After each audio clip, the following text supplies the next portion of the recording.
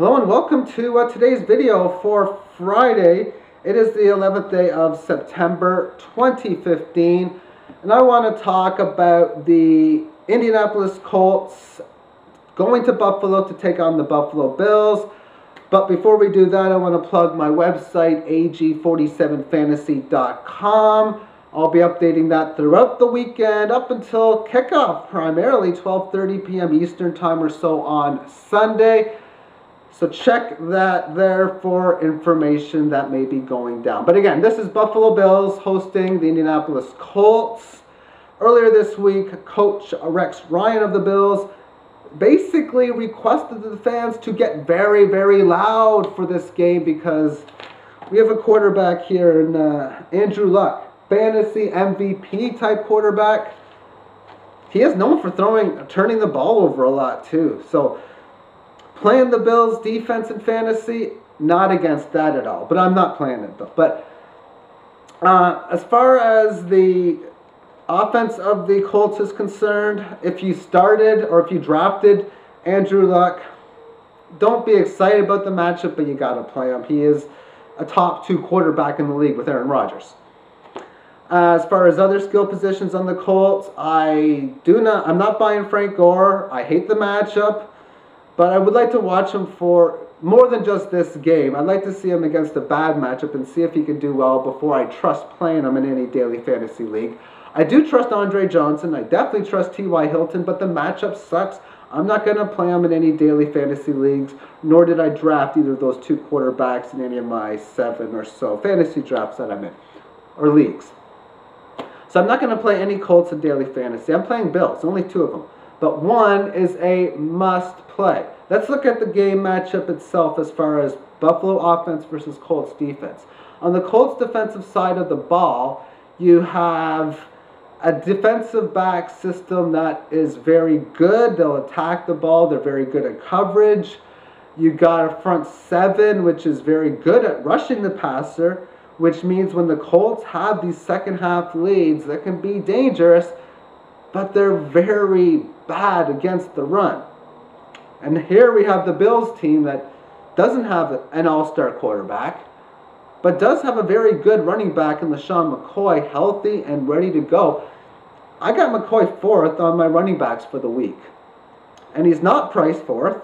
The top two that I got is number one, Eddie Lacy, and number two, Adrian Peterson. And if you want to know who the third one is, that's Matt Forte. But I think he's going to have a big game. And as far as his cost, which is nowhere near the fourth expensive, he's like the 10th or whatever most expensive. I think LeSean McCoy is a great play to have for daily fantasy. I think he can run for over 100 yards and get in and see paint.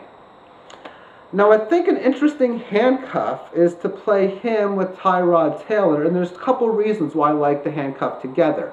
The only reason or the only way that Tyrod Taylor is going to have a good game is if they can effectively run the ball.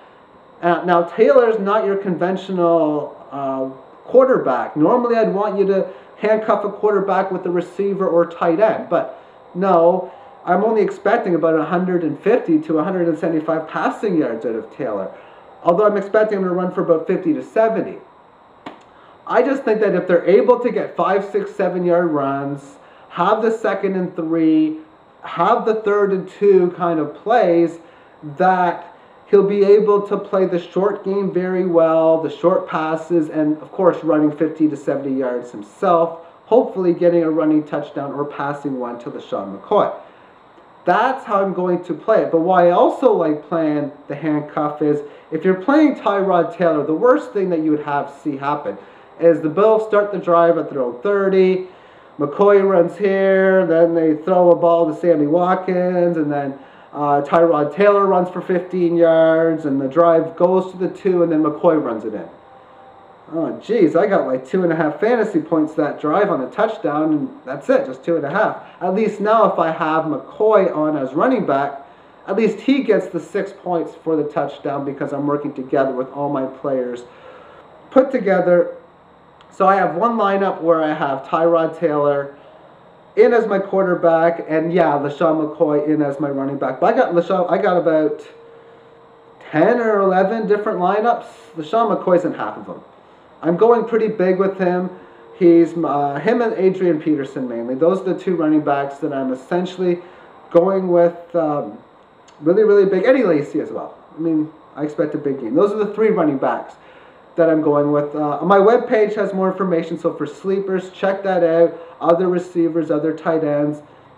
Go to my webpage, ag47fantasy.com. Now, tomorrow's video, I got a uh, play on either the side and or total with the uh, Saint. Uh, the, the, the, what matchup is it? It's the Denver Broncos and the Baltimore Ravens. That's the game. I got a play focusing on the uh, side and total.